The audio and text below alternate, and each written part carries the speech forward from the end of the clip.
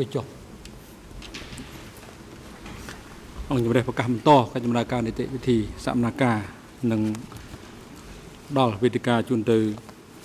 តំណាងសហប្រញ្ញាអន្តរជាតិបន្តការតាំងសំណួរដេញដោលចំពោះសាក់សីសូមអញ្ជើញ Thank you, Mr. President. សូមអរគុណលោកប្រធាន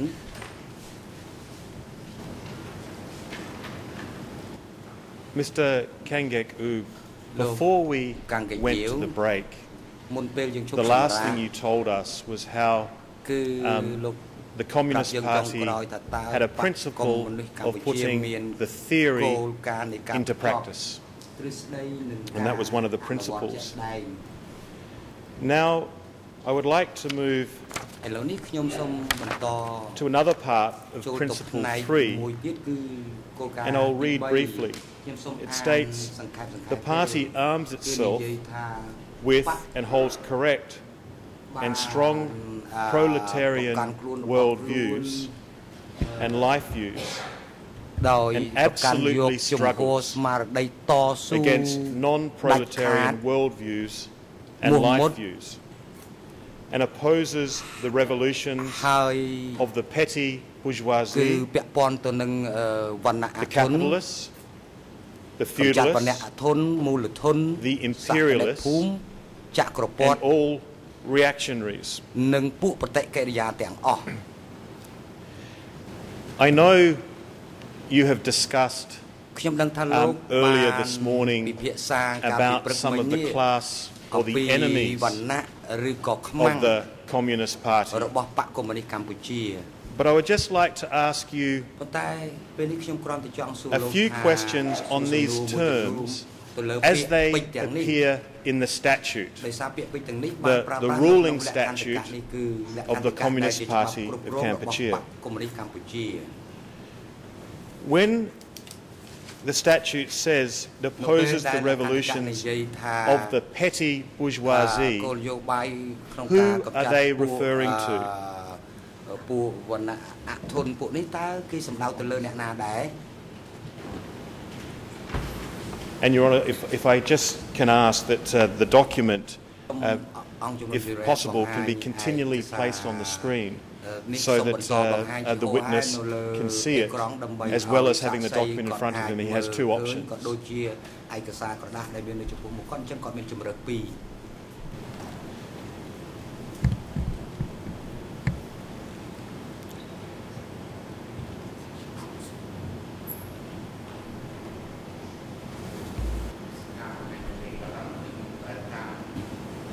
លមាននៅចំពោះមុខគាត់អញ្ចឹងគាត់មានជំរើសពីរលក្ខណៈដែលលោកចៅក្រមសួរខ្ញុំទេអត់ណែលោកព្រះអាជ្ញាសួរខ្ញុំទេ ការបង្ហាញនៅលើអេក្រង់ទៅយ៉ាងណានោះនៅឡើយទេសូមបង្ហាញឲ្យចំសូមលោកឲ្យគេបង្ហាញឲ្យចំ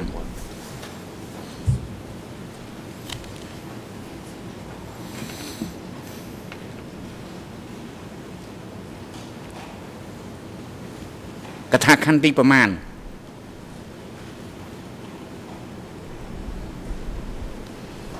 Uh, I believe it's uh, being shown on the screen now,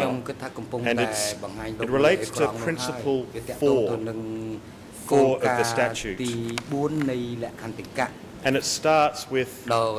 um, the party arms itself and continues on.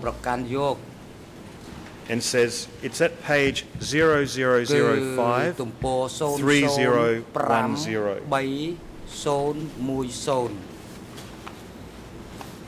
Hmm.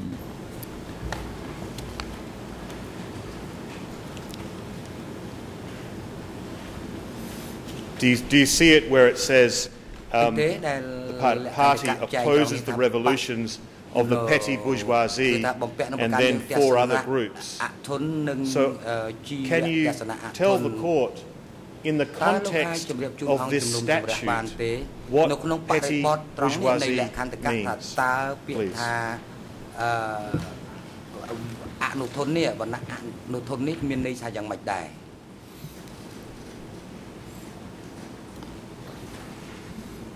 ដោយការប្រែភាសាល្អអល្អួលខ្ញុំសូមអនុញ្ញាតបញ្ជាក់លោកព្រះអាជ្ញាបន្តិចសួរខ្ញុំអំពីអនុធនឬអធនអនុធនឬអធនអធនបារាំងគេហៅ proletariat នោះឯចំណែក អនុធនបារាំងគេហៅថា petit bourgeois ឥឡូវអាណាមួយ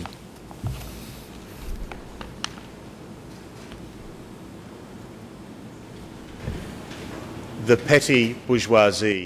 what គឺ that means ច in ង់ the សួរពាក្យ statute. ថា Thank you. អនុធនតែម្ដងតើតើពាក្យអនុធននេះមានន័យថាម៉េច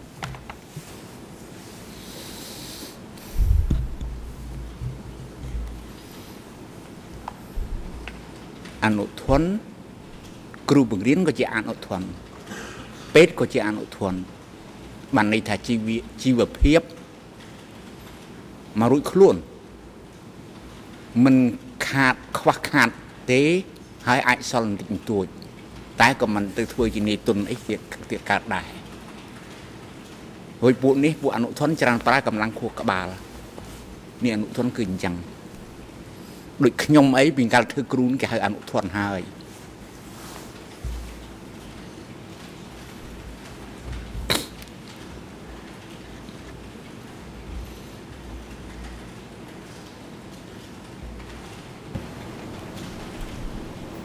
And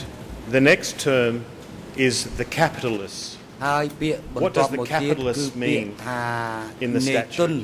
តើពាក្យថានេទុននៅក្នុងលក្ខន្តិកៈនេះមានន័យថាដូចម្ដេចដែរ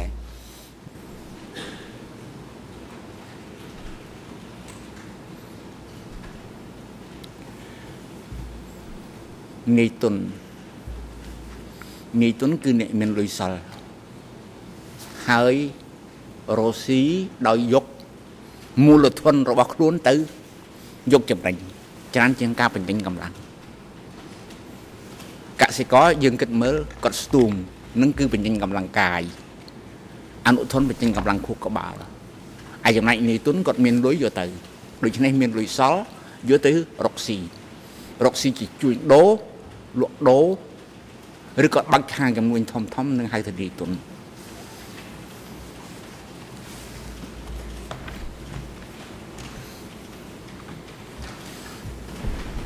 Thank you. That's, that's very clear. សូមអរគុណ Now, if I can ask you what the term the ខ្ញុំសួរ feudalists ថាតើ means. ពាក្យថា within the សក្ statute. តិភូមិនេះនៅក្នុងលក្ខន្តិកៈនេះពាក្យសក្តិភូមិមានន័យថាដូចម្ដេចដែរ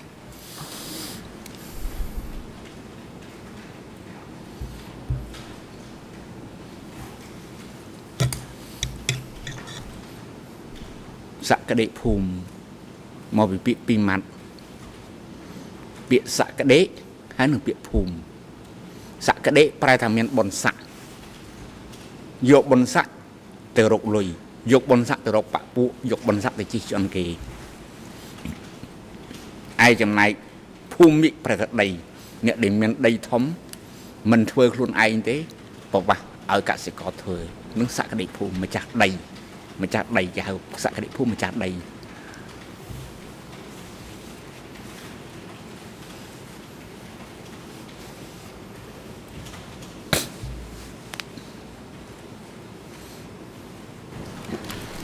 Does it any any way Tao relate tin- to the royal ម class? ធ្យោបាយឬរបៀបណាមួយដែលភ្ជាប់ពាក្យនេះទៅនឹងអឺរាជវង្សានុវង្សដែរឬទេ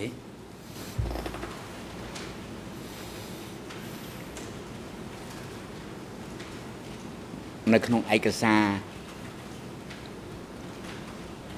វិភាគវណ្ណៈរបស់ប៉ុលពតណាមាន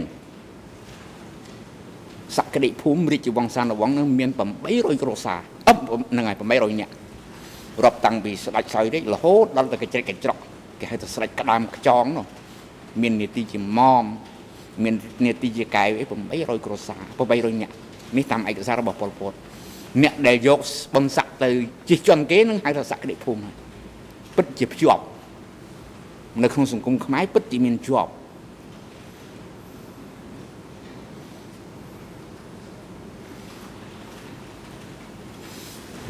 Can I ask you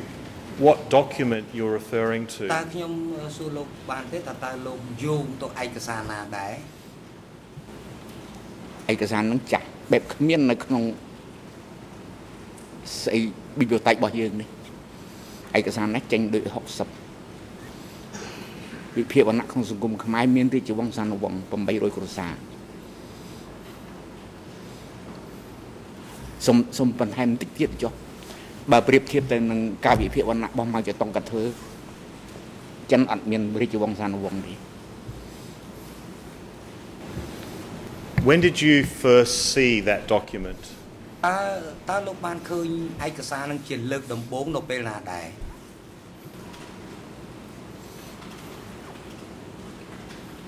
មិនមែនជាលើកដំបូងទេតែម្ដងគាត់គឺនឹងមន្ទីរសម្ងាត់ ក្បែរផ្សារអង្គស្នួលហួសផ្សារអង្គស្នួលបន្តិចទៅដែលខ្ញុំជួបវនវេតទៅដេញមកយប់ហ្នឹងខ្ញុំបានមើលឯកសារហ្នឹងក្រៅផ្លូវការទេអត់មានការចាត់តាំងរៀនសូត្រទេដល់ឯកសារនេះបណ្ដៅខ្ញុំមើលប្រវត្តិ67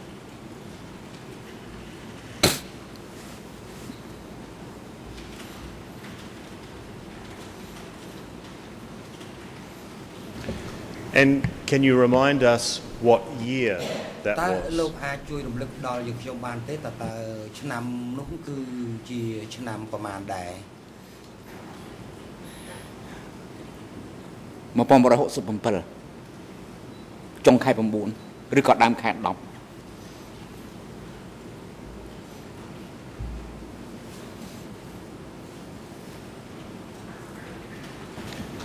Thank you. Can you now describe សូមអរ what គុ the ណច្រើន term តើលោកអាចរៀប imperialist រាប់ពាក្យ means ថា in ច the ក្រ statute? ពត្តិនៅក្នុងលក្ខន្តិកៈនេះពាក្យថាចក្រពត្តិមានន័យដូចមិនដែរ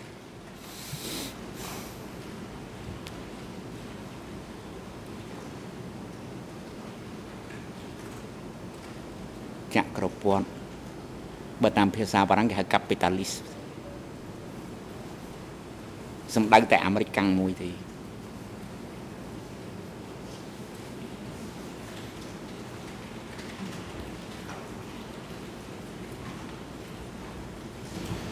And the last term, it states, uh, opposes the revolutions of all reactionaries. Who is the all reactionary group as it's meant in the statute?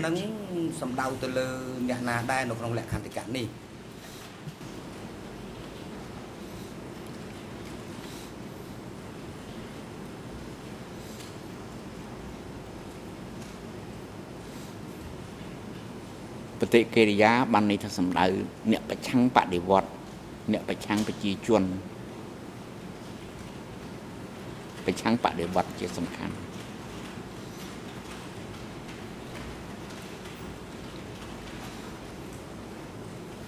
លោកឃើញហើយនៅក្នុងណែរដ្ឋធម្មនុញ្ញសាសនាប្រតិកិរិយាពាក្យមួយម៉ាត់នឹង ដែលប្រើច្បាស់មែនទែនគឺសាសនាបតិកិរិយាដូច្នេះសំដៅសាសនាណាដែលមានការតាក់ទងជាមួយអាមេរិកជាពិសេសប្រូតេស្តង់នឹងតម្រង់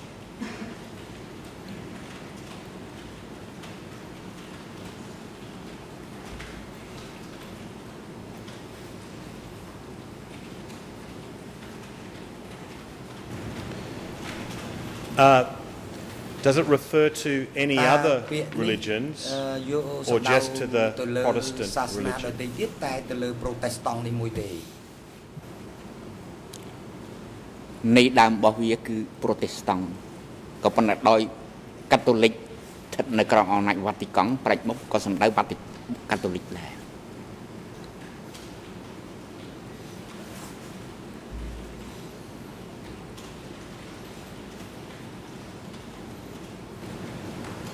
Thank you.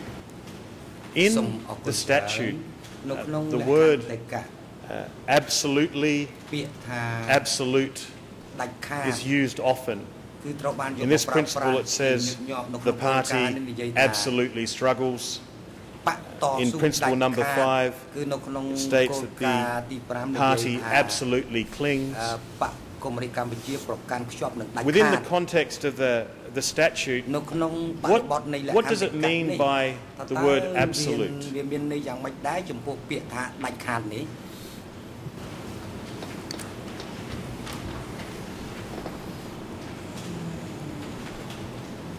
អរគុណនេះនិយាយចំកថាខណ្ឌមួយកថាខណ្ឌហើយពាក្យដាច់ខាតដែលប្រើនៅក្នុងកថាខណ្ឌនេះបានន័យថាធ្វើដោយជំនឿសុប មិនរារែកមិនស្ទាក់ស្ទើរធ្វើនឹងធ្វើដោយជំនឿជឿសុបមិនរារែកមិនស្ទាក់ស្ទើរ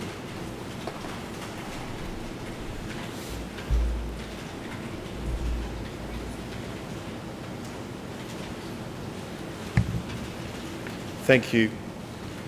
Now, if we look at principle សូមអរគុណ 5, ច្រើ at ន the beginning ឥឡូវ of បើ it, យើងមើល it គោលការណ៍ states ទី5 the Communist គឺនិ Party យាយ of ថា Kampuchea បកកុម្មុយនីកម្ពុជា closely and absolutely clings to the views and lines of the popular masses. What, what does that mean? That the party clings to the views and lines of the popular masses. What does that mean?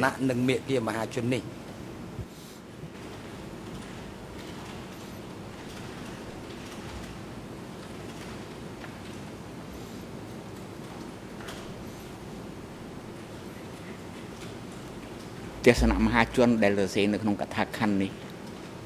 ខ្ញុំនៅតែជឿថាវាមានលក្ខណៈជាទ្រឹស្ដី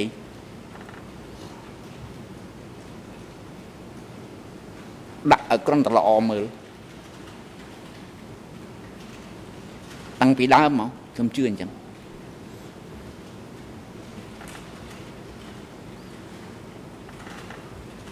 មហាជនឯណា ទៅចង់បានអង្គមកកំប៉ុងកន្លះមួយថ្ងៃមហាជនឯណាដែលគេចាប់បងប្អូនទៅឲ្យមិនមិនមិនឈឺចាប់ហើយដូច្នេះត្រូវមានកំហឹងដាច់ខាត់ចំពោះខ្មាំងនោះវាវាវាវាសង្កត់មកលើគេណាដូច្នេះពាក្យមាសទស្សនៈមហាជនមាគ៌ាមហាជនមានលក្ខណៈជាទ្រឹស្ដីដាក់ឲ្យគ្រាន់តែល្អមើលនេះខ្ញុំយល់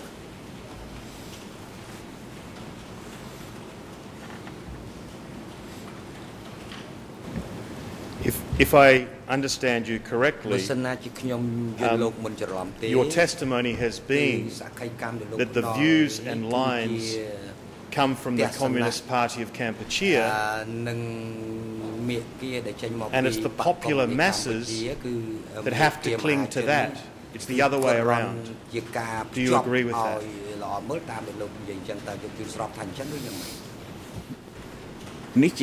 ល្អមើលតាមដែលលោកនិយាយអញ្ចឹងតើលោកជឿស្របថាអញ្ចឹងឬយ៉ាងម៉េច នេះជាគោលកំណត់របស់ខ្ញុំដែលខ្ញុំយកមកបកស្រាយនៅពេលនេះមុខតឡាការ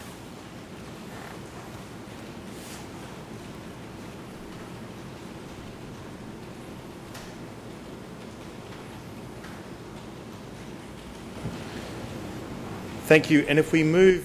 further សូម down, អរគុណ it សិនណា states យើង that ចុះទៅក្រោ each ម party បន្តិចនិ member យាយថាអឺ must trust ប and កជនម្ depend, នាក់ម្នាក់ត្រូវទុក depend ចិត្ត on the និង power ផ្អែកលើ of the popular masses កម្លាំងមហា and ជន must keep close contact ហើយ with ត្រូវតាក់ទ the ង popular ចិត្ត masses ស្និទ្ធជាមួយមហាជន What does it mean តើ that the party member វាមានន័យយ៉ាង must ដូច keep ដែលថា close ប contact កជនម្នាក់ម្នាក់ត្រូវអឺ with the popular masses? What does ផ្អែ that កលើ mean? កម្លាំងមហាជនត្រូវតាក់ទងយ៉ាងជិតស្និទ្ធជាមួយមហាជនតើមានន័យដូចម្ដេចដែរ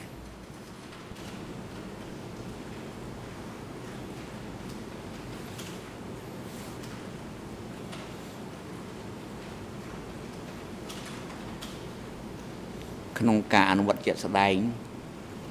មេមួយមួយបើមិនដឹងសុខទុក្ខកូនចៅទេមិនបានទេនេះក្នុងការអនុវត្តជាក់ស្ដែងដូច្នេះដើម្បីសម្រេចផែនការបោះបាក់បាន មេនីមួយនីមួយត្រូវយកចិត្តយកថ្លើមកូនចៅបន្តិចដើម្បីសម្រេចផែនការបាក់ក៏ប៉ុន្តែដល់សកម្មភាពខ្លះ ក៏តោងយកទ្រឹស្ដីមកប្រើដែរឧទាហរណ៍ប៉ះបងប៉ះប្អូនរឿយត្រូវដាច់ខាតត្រូវដាច់ខាត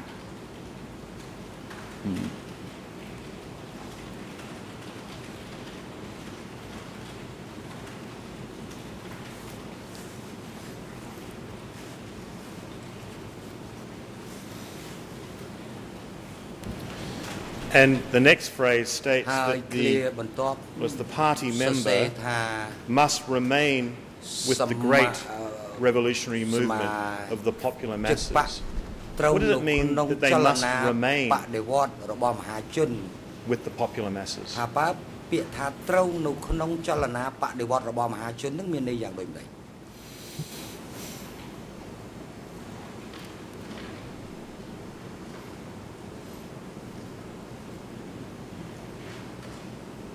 ខ្លឹមសារនេះ មានបញ្យលលម្អិត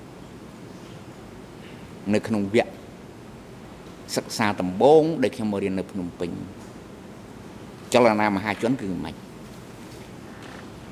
ចលនាមហាជនគឺលោតផ្លោះទៅដល់បដិវត្តសង្គមនិយមនិងកសាងសង្គមនិយម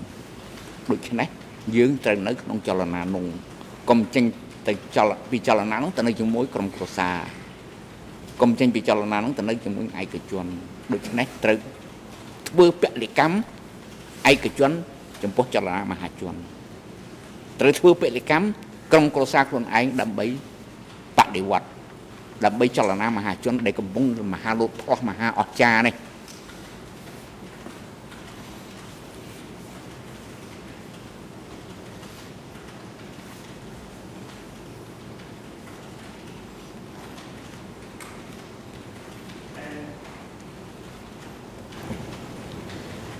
One last phrase um, in uh, principle 5 it states at the bottom along with this the party opposes following along behind the masses as well. what does that mean?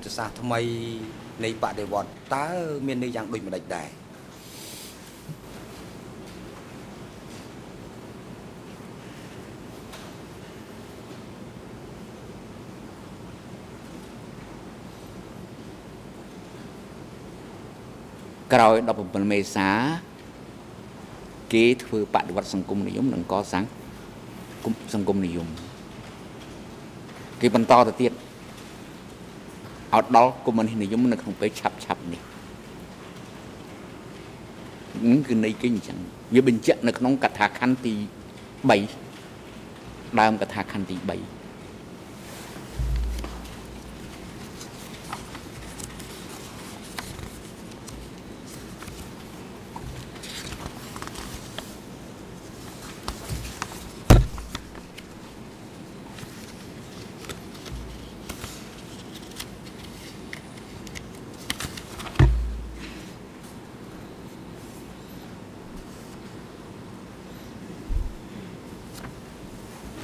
Thank you.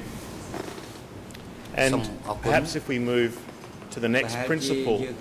um, a different idea, and it states the Communist Party of Cambodia was established according to the principle of democratic centralism. What does that principle mean? Democratic centralism. ការណ៍អឺប្រជាធិបតេយ្យប្រមូលផ្ដុំនឹងមានន័យដូចម្ដេចដែរ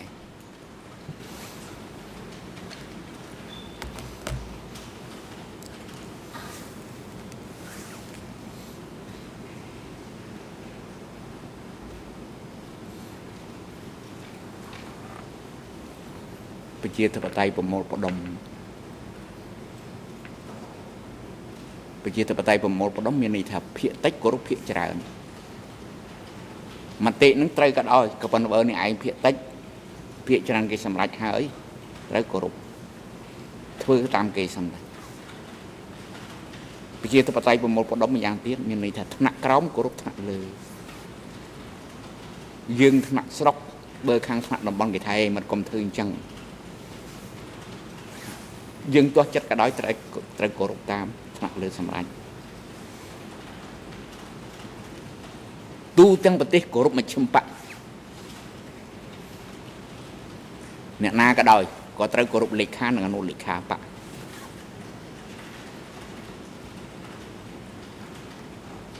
ព្រោះគេតំណាងឲ្យសមូហភាពវាធំទូលាយជាងសមូហភាពគេតំណាងឲ្យមកប្រទេសលេខាភិកតំណាងឲ្យភិកភូមិភាគនីមួយនីមួយទេឯចំណែកអ្នកឯងសហគមន៍នៅ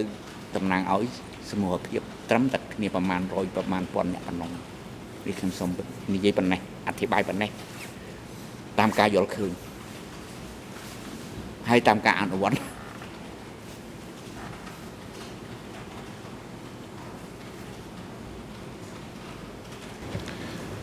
I would like to talk briefly about that practice, but, but first, you said the principle encaptured the idea that the minority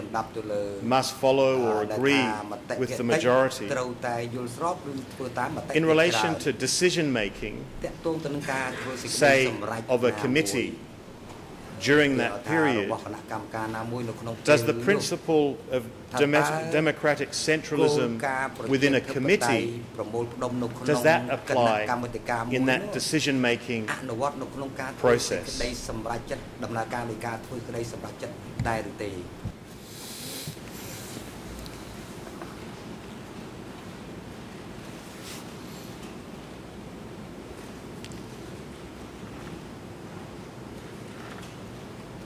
ដំបូងខ្ញុំសូមបញ្ជាក់ស្អីជាភារកិច្ចស្អីជាបញ្ជាបញ្ជាដាក់មកជនអីអាចលេខានិងអនុលេខាទៅជែកគ្នាសិនដល់ក្រោយមកទៅជែកគ្នាហើយអនុលេខាច្រើនតែគោរពតាមមតិលេខានេះបានតែបាត់បញ្ជាមួយចំពោះមុខទេឯចំណែកមេគាជាទូទៅឲ្យតែខ្មាំងត្រូវតែកំតិចគ្មានអំណាចហ៊ានកែប្រែមេគាទេ ដូច្នេះប្រជាធិបតេយ្យលើអាបញ្ហាខ្មាំងត្រូវតែកំតិចប្រជាធិបតេយ្យអត់បានទេត្រូវតែធ្វើសម្រាប់3តោន1ហិកតាឲ្យបានត្រូវតែធ្វើដូច្នេះសហគមន៍នីមួយនីមួយតើត្រូវធ្វើអីមុនត្រូវធ្វើអីក្រោយចាត់តាំងគ្នាប្រមាណអ្នកអានឹងគេប្រជាធិបតេយ្យប្រមូលផ្ដុំនៅក្នុងសហគមន៍គេនឹងគឺខ្ញុំសូមបញ្ចប់ប៉ុណ្ណឹង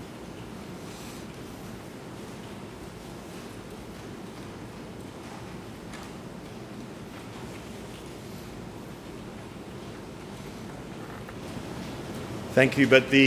the principle សូមអរគុណ of ប៉ុន្តែគោលការណ៍ democratic centralism ប្រជាធិបតេយ្យ Did that apply to ប្រមូលផ្ដុំនេះ decision making តើតើត្រូវ at the បាន committee យក level? មកអនុវត្ត Is there an នៅ application ក្នុង for that principle កម្រិត there គណៈ or កម្ម not? ការណាមួយតែមានយកគោលការណ៍នេះមកអនុវត្តដែរឬក៏អត់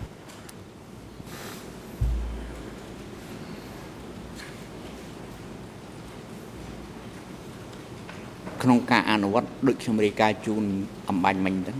ថ្នាក់ក្រោមគោរពថ្នាក់លើបញ្ជាថ្នាក់លើត្រូវតែធ្វើឲ្យបានសម្រេច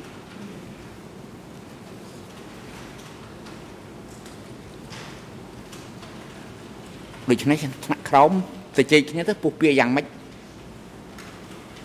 ធ្វើឲ្យបានសម្រេចតាមនោះដូច្នេះការដែលទៅជែកគ្នានៅខាងក្រោមដើម្បីឲ្យខាងសម្រេចតាមភារកិច្ចដែលខាងលើកំណត់មក ភាគច្រើនច្រើនតែអនុលេខាស្ដាប់លេខា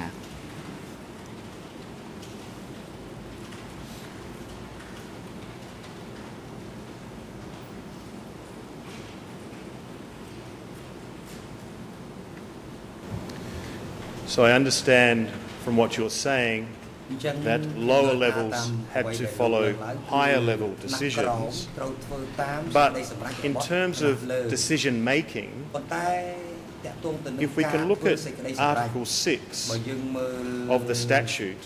មាត្រា That's Article 6.2 6.2 មាត្រា it states 6.2នៃលក្ខន្តិកៈបាន all the various លើកឡើង decisions of the ថា party សេចក្តីសម្រេចផ្សេងៗ must be made របស់បក collectively ត្រូវធ្វើឡើងរួមគ្នា if that can be shown on the screen. បញ្ តែ ជាក់ ខ្ញុំសូមបង្ហាញអឺមាត្រានេះនៅលើអេក្រង់បានទេ Article 6.2. គឺមាត្រា6.2 បញ្ជាក់ទំព័រសូមបញ្ជាក់ទំព័រ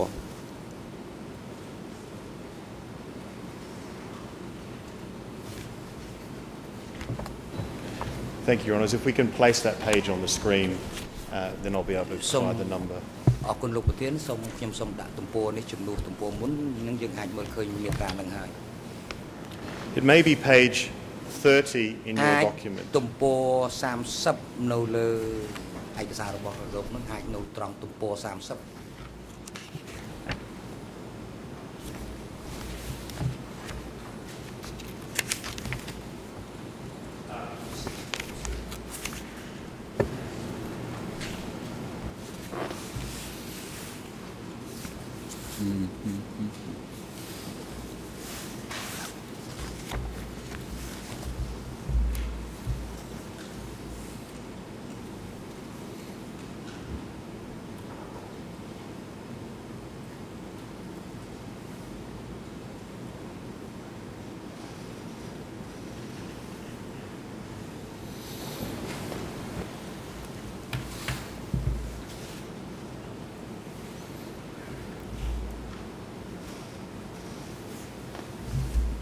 មាត្រា6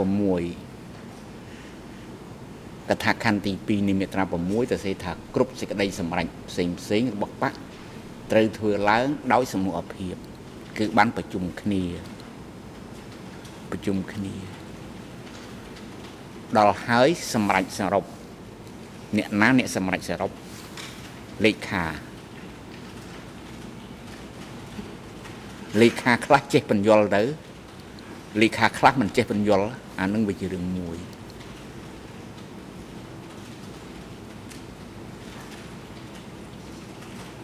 តែយកបោកសរុបជាមួយគ្នាពិភាក្សាគ្នា នៅក្នុងសមូហភាពក្នុងអង្គប្រជុំដល់សម្រាប់ភាកច្រើនច្រើនតែលេខាជាអ្នកសម្រេចយកតាមមតិរបស់លេខានេះខ្ញុំសូមបញ្ជាក់ម្ដងទៀតប៉ុណ្ណឹង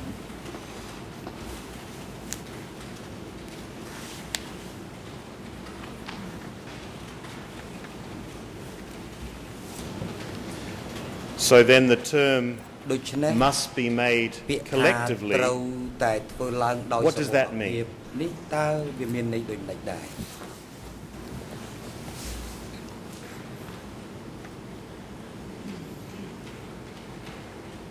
ខ្ញុំសូមលើកបញ្ហានេះ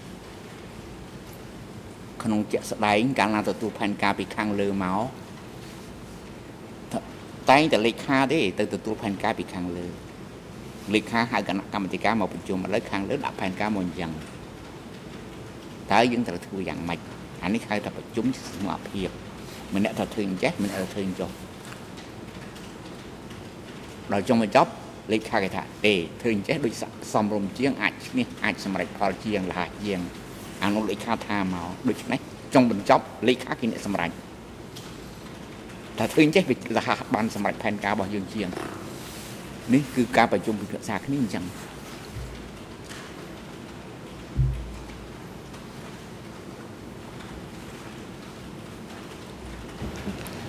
So if I heard your evidence correctly, សិនជាខ្ញុំ You said that when a ស្ដាប់ decision លោក is មន្ត្រី made ទេនៅពេលធ្វើ by a committee, សេចក្តីសម្ all រេច issues ដោយ must be placed on the គណៈកម្មាធិការ table. មួយគឺថាបញ្ហា Is ដែល that ត្រូវ correct?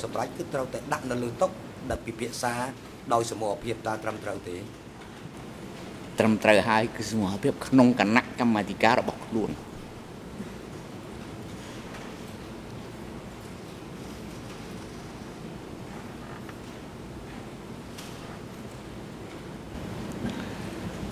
Thank you. And if we move សូម further អរ down គុណបើ uh, យើងមើល principle ចុះ number មក 6, ក្រោមទៀតនៅក្នុងគោលការណ៍ទី it 6 states that the party must have ដែល high level លើកឡើងថា revolutionary vigilance. អឺបកត្រូវតែមាន Principle ម្ no- ចាស់ at page ការ5 in your document. អឺប្រុងប្រយ័ត្នខ្ពស់ What does the term តើ uh, revolutionary vigilance mean ពាក្យថា in the ត្រូវ context of the អឺតែ statute? មានម្ចាស់ការបដិវត្តខ្ពស់នៅក្នុងលក្ខន្តិកៈនេះវាត្រូវអឺបកត្រូវប្រុងប្រយ័ត្នបដិវត្តដល់ពងពួននឹងមានន័យថាម៉េចដែរ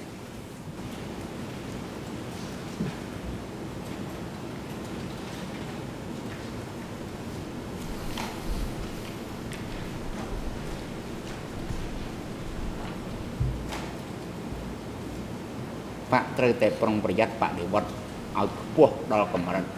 ចំពោះគ្រប់សកម្មភាពនិងគ្រប់កលល្បិចរបស់ខ្មាំងជាផ្ទាល់ជាប្រយោលជាចំហជាសម្ងាត់ដែលប្រាថ្នាបំផ្លិចបំផ្លាញបកតាមគ្រប់វិធីនេះវាច្បាស់លាស់ហើយ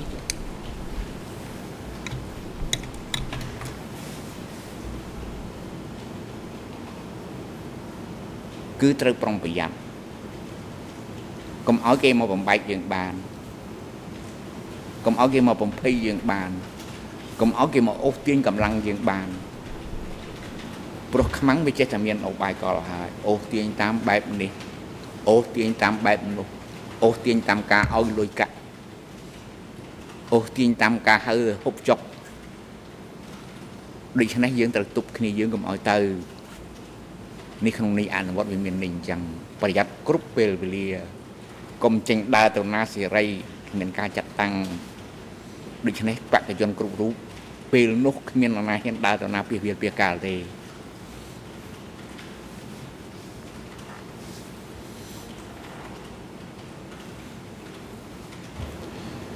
Thank you.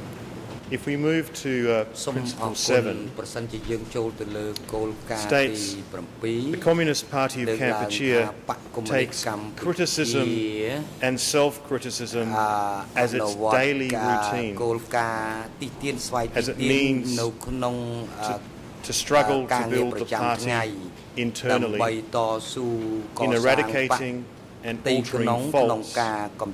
and various confusions inside the party and to push to expand the good qualities of the party to prosper quickly, non-stop. My first question is, what what does it mean តើវាមាន these ន័យថាម៉េច criticism and ពាក្យថា self-criticism ទីទាននិងស្វ័យទីទាន as a daily routine what does that mean ជាមធ្យោបាយប្រចាំថ្ងៃនេះតើមានន័យយ៉ាងដូចម្ដេច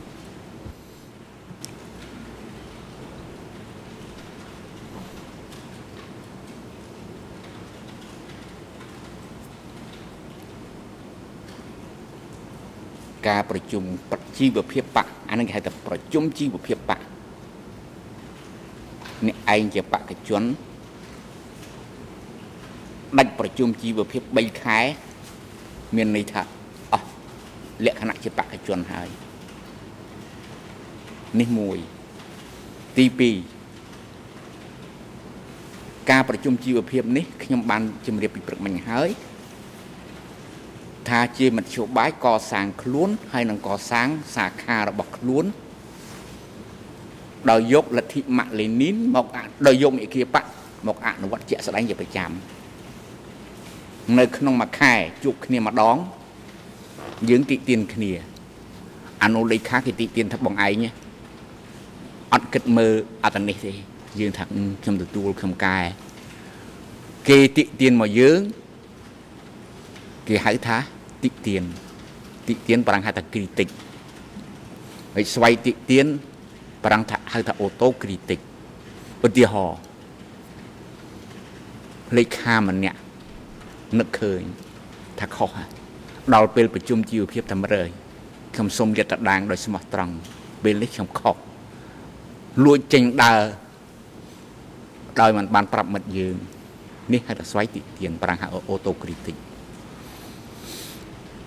ដូច្នេះការកសាងខ្លួនក្នុងជីវភាពគឺគ្មានអីទេតិទៀននិងស្វ័យតិទៀនបំណងដើម្បីតម្រៃតម្រង់ការអនុវត្តការគិតរបស់បកជនមួយមួយឲ្យត្រឹមត្រូវទៅតាមវិន័យបកនិងមិគៀបក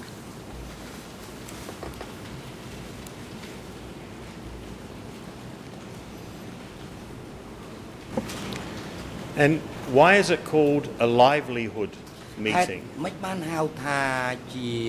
អឺការប្រជុំជីវភាពតើគេមិនបានគេប្រើពាក្យហ្នឹង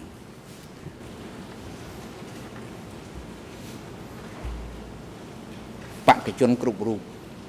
មានជីវិត មានតម្លៃជាបកជននៅលើការប្រជុំនឹងឯងបើដាច់ប្រជុំហើយដាច់ឆ្ងាយពីបកហើយបានជាគេហៅប្រជុំជីវភាព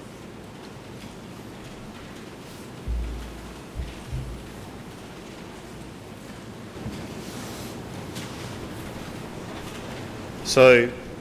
if they don't ដូច្នេះ participate ប្រសិនបើគេមិនចូលរួម and they're separated ហើយ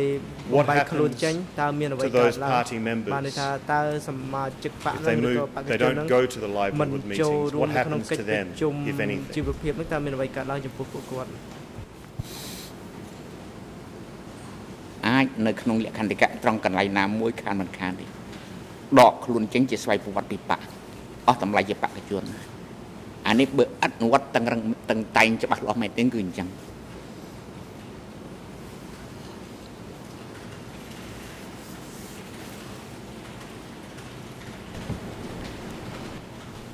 សំណួរ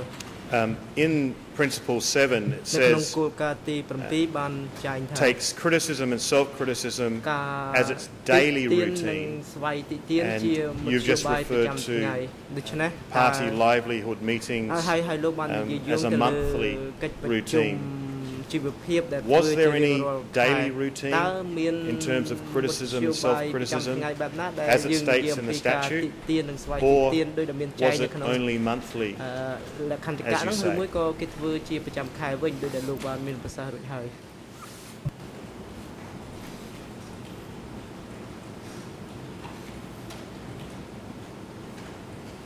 ជារបៀបរបបគេធ្វើប្រចាំខែក៏ប៉ុន្តែ ប្រចាំថ្ងៃក៏យើងអាចធ្វើបានដែរស្ងាត់ស្ងាត់មកកេះ5គ្នានឹងក៏បាន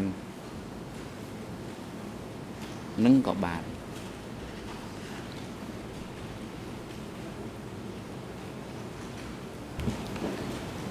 There, there may have been a translation សំ problem. ណួរ Did ខ្ញុំ you គិត say ថាប្រហែលជាមាន that you បញ្ could ហាបក also ប្រែ do it daily? ដូច្នេះ Or លោក did you ចង់ say និយាយ something ថា else? ពួកគេអាចធ្វើជារៀងរាល់ថ្ងៃឬមួយក៏លោកនិយាយអីផ្សេងពីនេះ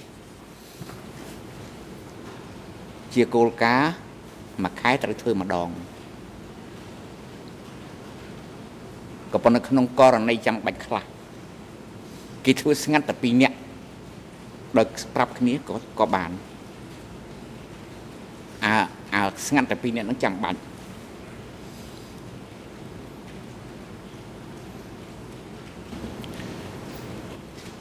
What, សំណួរ so we understand ដូច្នេះយើងយល់ថា in practice ជា what ការ these អនុវត្ត meetings ជាក់ were ស្ដែង like.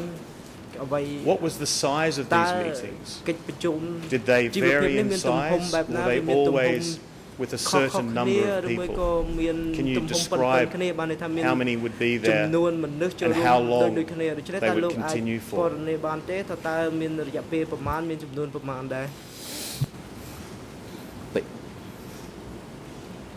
បានទេថាតើមានរយៈពេលប្រមាណមានចំនួនប្រមាណដែរប្រជុំជីវភាពនេះហៅប្រជុំជីវភាពសាខាបកជនមួយសាខាមាន3នាក់ប្រជុំ3នាក់បើមិនគ្រប់មួយសាខាទេរត់ទៅប្រជុំគេដូចខ្ញុំបានជុំឧទាហរណ៍ព្រឹកមិញហើយអង្កលខ្ញុំនៅម៉ូ13ខ្ញុំមានតែបកជន2នាក់ទេដាច់ខែឡើងខ្ញុំទៅប្រជុំជាមួយនឹងគេជាលេខាសាខាក៏ប៉ុន្តែដល់មកនៅភ្នំពេញខ្ញុំមានគណៈកម្មាធិការរបស់ខ្ញុំខ្ញុំប្រជុំក្នុងគណៈកម្មាធិការរបស់ខ្ញុំជាទៀងទាត់ នេះគឺច្បាស់លាស់ក៏ប៉ុន្តែករណីខ្លះជាចាំបាច់ដែលយើងមិនអាចលើកក្នុងអង្គប្រជុំបានក៏យើងអាចឆ្កឹះប្រាប់គ្នាជាសម្ងាត់ដែរខ្ញុំលើកបញ្ហាជាក់ស្ដែងមួយ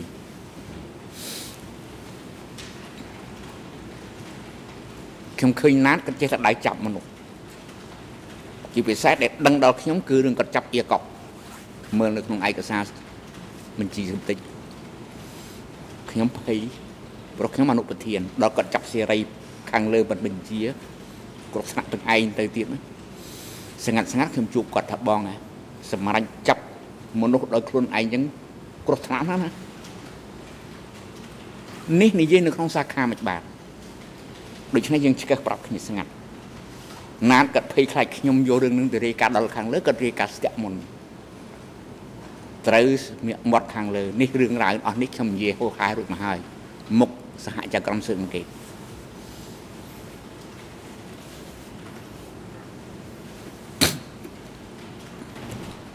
You said សំណួរ that លោក these និយាយថា meetings កិច្ចប្រ were ជុំបែបនេះ in groups គឺ of three, ធ្វើឡើងដោយមានគ្នា branch 3នាក់ level. គឺនៅ Did តាមសាខា every party member តើបកជន have to គ្រប់រូបត្រូវតែ um, have these self-criticism ធ្វើ or ការស្វ័យ livelihood ទី meetings? ទាន Did that នៅក្នុង apply កិ to ច្ចប្រ everyone ជុំជីវ or ភាព just ហ្នឹង តើ the leaders of, of ធ្វើ units? ចំពោះគ្រប់គ្នា and ឬមួយក៏ other, តែ uh, សម្រាប់ប្រ small ធាន sections? អឺផ្នែកឬក៏ប្រធាន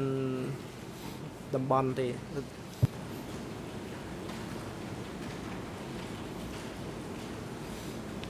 ក្នុងពេលប្រជុំជីវភាពមួយមួយណាធ្វើទាំងអស់គ្នាធ្វើទាំងអស់គ្នាធ្វើទាំងអស់គ្នា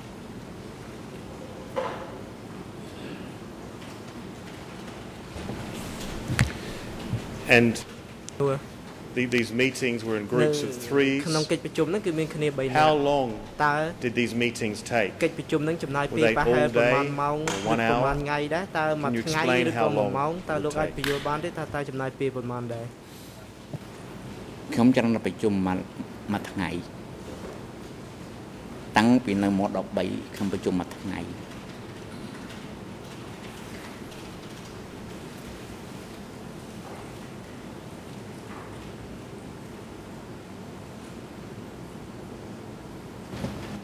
How You សំ explained ណួរ a, លោក a បានពន្ situation យល់ where ថា um, ស្ you ថាន saw ភាព a គឺថា person លោកបាន called Nat ឃើញបុគ្គលម្នាក់ arresting ឈ្មោះ someone. ណាតចាប់អ្នកដតី But ចាប់បុគ្គលដតី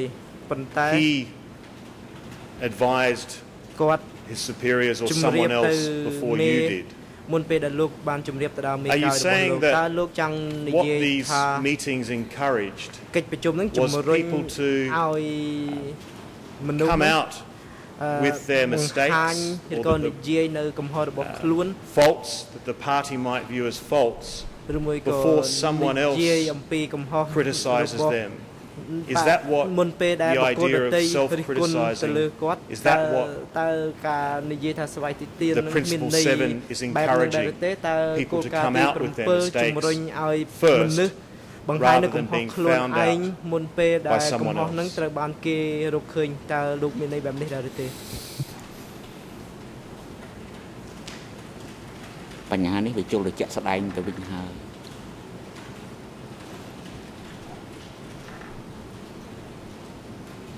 ខ្ញុំសូមនិយាយទៅចុះក្នុងឋានៈខ្ញុំជាអនុលេខាស21 ខ្ញុំបានទទួលដំណឹងមកថាលេខាធ្វើខុសចាប់មនុស្សដោយអត្តនោម័តបើខ្ញុំមិនទប់ទេណាបែកការតែថ្ងៃក្រោយវាត្រូវគ្រោះថ្នាក់ខ្ញុំដែរដូច្នេះខ្ញុំត្រូវតែសាក់លបងទប់ព្រោះខ្ញុំនឹងណាត់មានមនោសញ្ចេតនាជ្រាលជ្រៅមកយូរហើយជួបគ្នាប្រកបការងារជាមួយគ្នាចាប់តាំងពីឆ្នាំ1966មកដូច្នេះខ្ញុំរិះរកពេលស្ងាត់និយាយ យ៉ាងខ្លីថាបងណាចាប់មនុស្សដោយចិត្តឯងចឹងគ្រោះថ្នាក់ណាស់ណាគាត់ក៏ច្រឡោតដាក់ខ្ញុំតែថាបើគេរត់ធ្វើឃាតយើងហើយមិនចាប់មិនបានមិនថារឿងនឹងតូចហ៎ខ្ញុំក៏ស្ងាត់ទៅមិនមត់អង្គយទេធម្មតាទេខ្ញុំជាអនុលេខាម្នាក់ដែលមេហៅទៅប្រជុំ ចប់រហូតជាមួយនឹងលេខាដូច្នេះប្រហែលជាគាត់ភ័យខ្លាចខ្ញុំរាយការណ៍ជូនមេគាត់តែនិយាយជាមួយមេមុននៅពេលប្រជុំលើកក្រោយជួបមេក៏តែនិយាយជាមួយមេក៏តែមួយថ្ងៃនោះបង មានពួកវាចង់រកធ្វើឃាតខ្ញុំខ្ញុំបឹកឡាន់ភ្លឹងឡាន់ភ្លេតភ្លេតភ្លេតទៅអើយអានោះមិនស្រួលខ្ញុំចាំមេដោះវ៉ែនតាជូតភ្នែកដល់ទៅ ពាក់វ៉ែនតាវិញនេះជាទម្លាប់គាត់មុននឹងថាឲ្យនរណាឬសម្រេចរឿងអីក៏ដោះវ៉ែនតាជូតភ្នែកសិននឹងសំសេនដាក់វ៉ែនតាវិញក៏ថាមិត្តចាប់មនុស្សដោយអាងលើសវត្ថភាពបន្ទាល់ខ្លួនមហាបុគ្គលមហាបុគ្គលគាត់និយាយតែប្រហែលប៉ុណ្ណឹងណាត់ស្ងាត់ខ្ញុំខ្ញុំអត់ហ៊ាននិយាយអីទេដូច្នេះ រឿងហ្នឹងជាក់ស្ដែងវាទៅអញ្ចឹងក៏ប៉ុន្តែខ្ញុំនិយាយនេះចង់និយាយតែប្រចាំថ្ងៃការតិទៀនប្រចាំថ្ងៃគឺខ្ញុំតិទៀនទៅណាតក្នុងពេលណាដែលសំរុំក្រៅជីវភាពបកខ្ញុំធ្វើបាននេះជាលក្ខណៈមួយនៃការតិទៀនរបស់លេខាទៅលើអនុលេខាក៏មានអនុលេខាមកលើលេខាក៏មានដែរ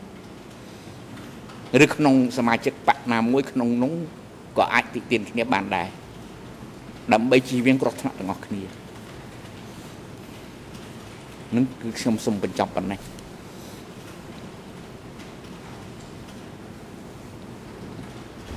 And just a short question សំណួរខ្ញុំ What សូមសួ happened រ to ខ្លី Nat? មួយថាតើណាតើមានអ្វីកើតឡើងចំពោះណាត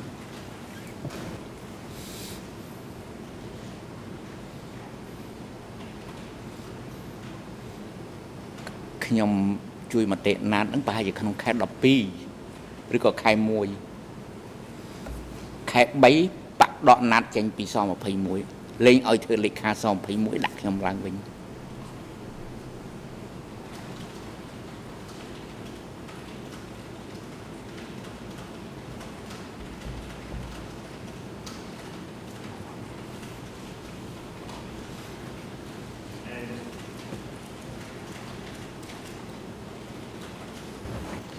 um, សំណួរ what finally តើនៅចុងក្រ happened ោយ to Nat ណាតកើតអីដែរមានបញ្ហាអ្វីកើតឡើងចំពោះណាតនៅចុងក្រោយនៅចុងក្រោយណាតលេងនៅ ក្នុងយោធាហើយលេងនៅជាជំនួយការសេនាធិការហើយណានធ្លាក់ខ្លួនទៅនៅក្រសួងការបរទេស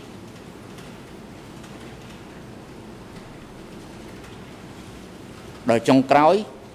មានចម្លើយប៉ះណាតខាងលើក៏ចាប់ណាតមកចូលស21ហើយដល់ចុងក្រោយនេះទៀតគឺនៅក្នុងឯកសារលេខខែ4នៅក្នុងឯកសារថ្ងៃ21ខែ4ឆ្នាំ1976ពលពតបញ្ជាក់ច្បាស់គឺលេងជឿទុកចិត្តណាត នៅក្នុងសេចក្តីសម្រេចចិត្តថ្ងៃ21ខែ4ហ្នឹងនេះការវិវត្តដែលលោកសួរខ្ញុំខ្ញុំសូមឆ្លើយដំណឹងតាមការនេះ Thank you. And did Nat នួ die សូម at អរគុណ S21? Was he តើ killed there? អឺណាតស្លាប់នៅស21ឬក៏ត្រូវគេសម្លាប់ស21ណាតធ្វើទារុណកម្មសួរចម្លើយហើយកំតិច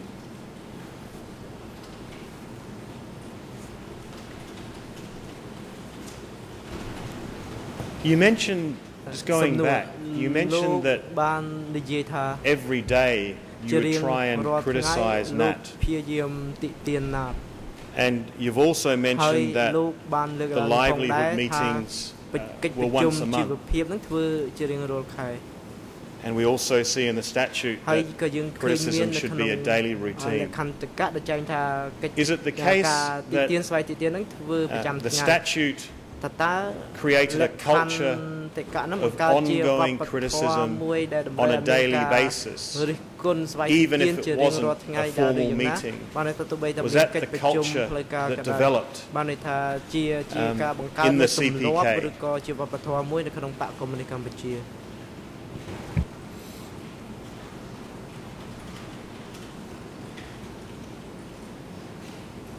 Thank.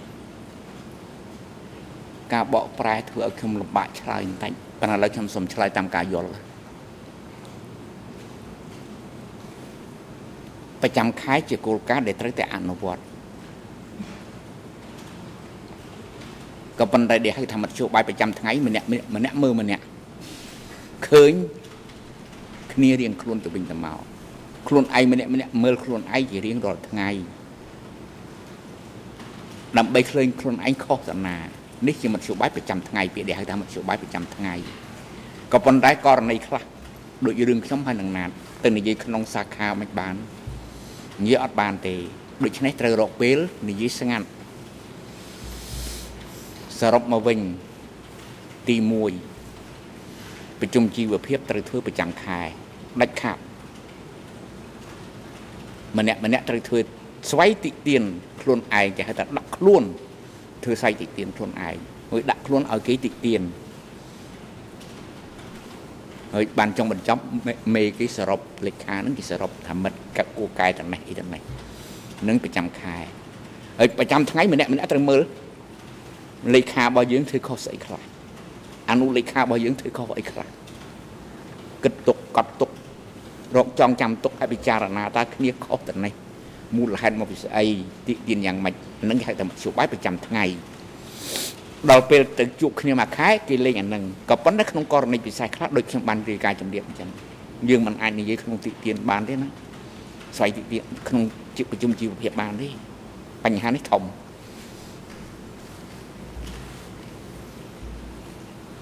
នេះខ្ញុំសូមនិយាយល្អិត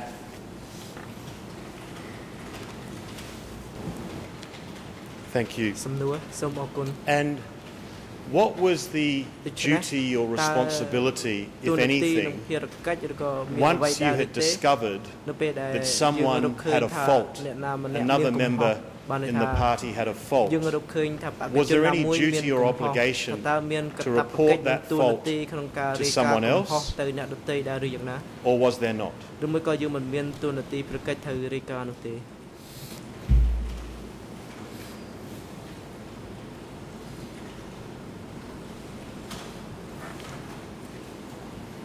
មួយក៏យើងមិនមានទូនាទីប្រកិច្ចត្រូវរាយការណ៍នោះទេមានភារកិច្ចត្រូវរាយការណ៍មានភារកិច្ចត្រូវរាយការណ៍ជាប្រចាំគឺលេខាវារាយការណ៍ក៏ប៉ុន្តែក្នុងករណីពិសេសខ្លះអនុលេខាវាមានផ្លូវរបស់វារាយការណ៍ទៅដែរ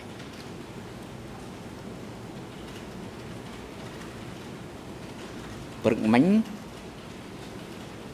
ព្រះអញ្ញាលោកសួរខ្ញុំពីម្សិលមិញហ្នឹងវានឹងខ្ញុំនៅផ្លូវរទេសភ្លើងជាមួយមេ ខ្ញុំថាអត់ទេផ្លូវរទេសភ្លើងជាកន្លែងមានរសាចំហអ្នកណាចង់ផ្ញើសម្បត្តិទៅមេយកទៅឲ្យពួកផ្លូវរទេសភ្លើងផ្លូវរទេសភ្លើងវាយកទៅជូនមេគ្មានអ្នកណាចូលដល់កន្លែងមេបានទេដូច្នេះអនុលេខាបើចង់រាយការណ៍អីទៅពីលេខាទៅលើតាមតាមតាមអាផ្លូវរទេសភ្លើងហ្នឹងនេះជាជាច្រកមួយសម្រាប់អនុលេខាវិរិកានៅក្នុងករណីណាដែលវាអត់ហ៊ាននិយាយជាមួយលេខា ប៉ុន្តែក្នុងករណីណាវាហ៊ាននិយាយវានិយាយ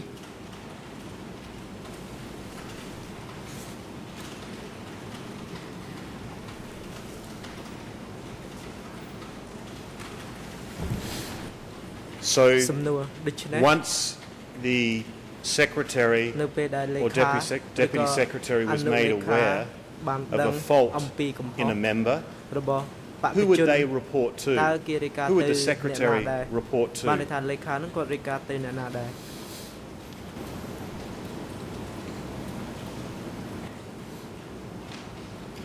កំហុសវាមានធុតណែទំនន់របស់វា កំហុសសមតាជាតិទៀនជាស្វ័យតិទៀនគឺទុកចាំប្រជុំជីវភាព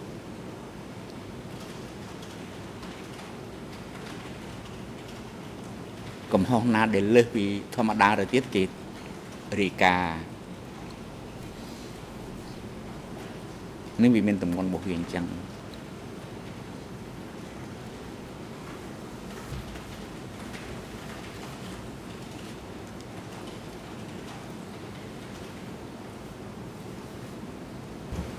So if it was a សំ serious fault, សំណួរដូច្នេះបើសិនបើមានកំហុស who would the ធ្ងន់ធ្ងរ secretary report to? តើលេខារាយការណ៍ទៅអ្នកណាដែរ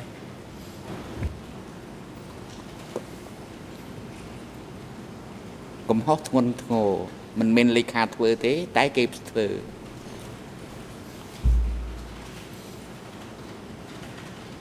លេខារាយការណ៍ទៅមេខ្ញុំសូមលើកឧទាហរណ៍ជាក់ស្ដែង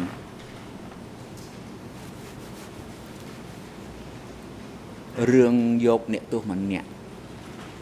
ឈ្មោះសឿនសេរីហៅប្រេវយកទៅកំតិចមុននឹងសួរចម្លើយចប់ខ្ញុំអត់អត់មាត់គាត់អត់កទេព្រោះរឿងយកអ្នកទោសចេញទៅកំតិចវាជាភារកិច្ចដែលមេបកលឲ្យគេហើយដល់ថ្ងៃក្រោយមេសួរទេមិនដូចអាមិនដូចបាត់ចម្លើយអាប្រេវិញខ្ញុំថាមិនហូរគិតយកទៅបាត់ហើយបងសួរអត់ទាំងចប់ផងយីមិនហូរមិនអញ្ចឹង ដល់ក្រោយមកបានមេហៅមិនហូរមកប្រាប់ថ្ងៃក្រោយត្រូវតែប្រាប់មិនដូចសុំយោបល់មកដូចអានេះចប់ហើយយកទៅបានមិនបានអានេះនៅអានេះចប់ហើយអីបានរៀបរយកន្លែងហ្នឹងឲ្យទៅជាមួយលក្ខណៈមួយឡើងវិញនេះអញ្ចឹងសាច់មេគេរាយការណ៍ឬគេគេមិនតាន់រាយការណ៍ប៉ុន្តែរឿងបន្តខ្លះរាយការណ៍ភ្លាមដោយខ្មាំងឆក់គុកណែពួកអ្នកទោសឆក់ឆក់កំភ្លើងបាន ខ្ញុំចុចទៅមេភ្លាមទូរស័ព្ទទៅមេភ្លាមមិនហូរស្ទុះមកដល់ខ្ញុំខ្ញុំចុចទូរស័ព្ទទៅមេភ្លាមនឹងគឺបន្តហើយដូច្នេះរឿងរាយការណ៍នឹងមិនរាយការណ៍វាអញ្ចឹង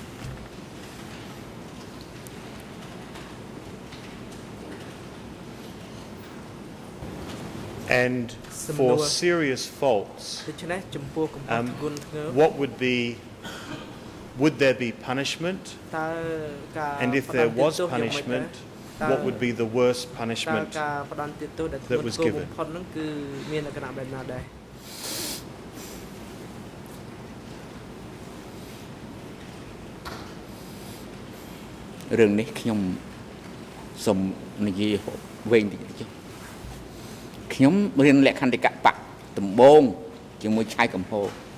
ខណៈបែបណាដែររឿងនេះខ្ញុំសូមនិយាយវែងតិចចុះខ្ញុំរៀនលក្ខន្តិកៈបៈដំបងជាមួយឆាយកំហោខ្ញុំថាបើកំហុសធ្ងន់ធ្ងរមិនក៏ត្រឹមតែដកសិទ្ធិពីបៈដកសិទ្ធិបៈ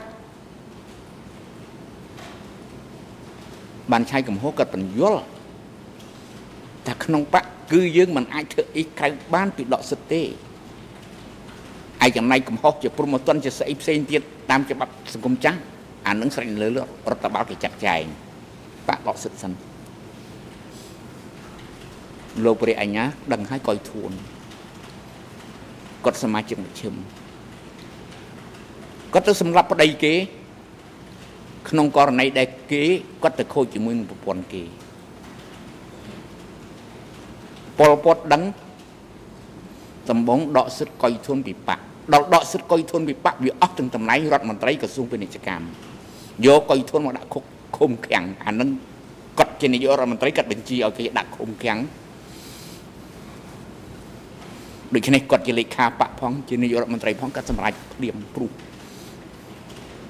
សរុបមកកំហុសធ្ងន់ធ្ងរបកមានសតិដកសិទ្ធិបកនេះនេះ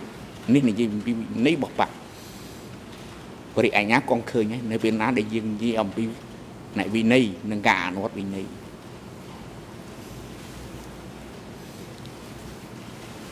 បាទឥឡូវនេះអឺដល់ពេលសំលមមសម្រាប់ហើយ អង្គជំរះប្រកាសផ្អាកកិច្ចដំណើរការសកម្មភាពសម្រាប់ថ្ងៃនេះត្រឹមនេះហើយសកម្មភាពលើកទៅបន្តធ្វើនៅថ្ងៃច័ន្ទទី26ខែមីនា ឆ្នាំ2012គឺដើមសប្តាហ៍ក្រោយហើយជាក់ទៀតគឺថាស្អែកនេះអង្គជំរះមិនធ្វើសកម្មភាពទេដោយអ្វីដែលអង្គជំរះបានជម្រាបជូនភាគីនិងសាធារណជនពីម្សិលមិញហើយដោយកិច្ចការជាច្រើន នៅចំពោះមុខដែលអង្គជំរះត្រូវប្រជុំពិភាក្សាដើម្បីសម្រេចជាបន្តបន្ទាប់ក្នុងន័យដើម្បីរួមចំណែកក្នុងការជំរុញលើកកម្ពស់គុណភាពគ្រប់គ្រងដឹកនាំសម្របសម្រួលកិច្ចដំណើរការសម្ដែងការឲ្យប្រព្រឹត្តទៅបានរលូនឆាប់រហ័សនិងមានប្រសិទ្ធភាពអនុរិយមន្ត្រីឃុំឃាំងនាំខ្លួនជនជាប់ចោតទាំង3រូបទៅកាន់មន្ត្រីឃុំឃាំងវិញហើយឲ្យនាំពួកគាត់មកកាន់បន្ទប់សកម្មភាពនេះវិញនៅព្រឹកថ្ងៃ ច័ន្ទទី26ខែមីនាឆ្នាំ2012ហើយបានមុនម៉ោង9ព្រឹកដូចគ្នានេះដែរអនុរិយមន្ត្រីឃុំឃាំងនាំសាក់សីកាំងគីហដូចទៅកាន់មន្ត្រីឃុំឃាំងវិញចុះហើយឲ្យនាំគាត់មកកាន់បន្ទប់សកម្មភាពនេះនៅព្រឹកថ្ងៃច័ន្ទទី26មីនាឲ្យបានមុនម៉ោង9ព្រឹកមុនអង្គជំរះចូលមកកាន់អាសនៈសម្រាប់ចុះសូមអញ្ជើញក្រោកចូល